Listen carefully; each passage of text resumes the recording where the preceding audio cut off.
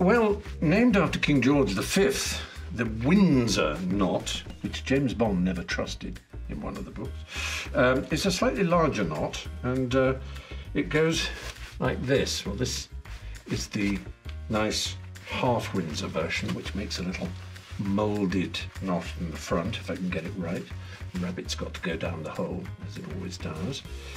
And uh, this is appropriate if you've got this kind of shirt that can take a bigger knot and it holds its shape beautifully. Look at that, real nice feel to it. You're half Windsor, madam.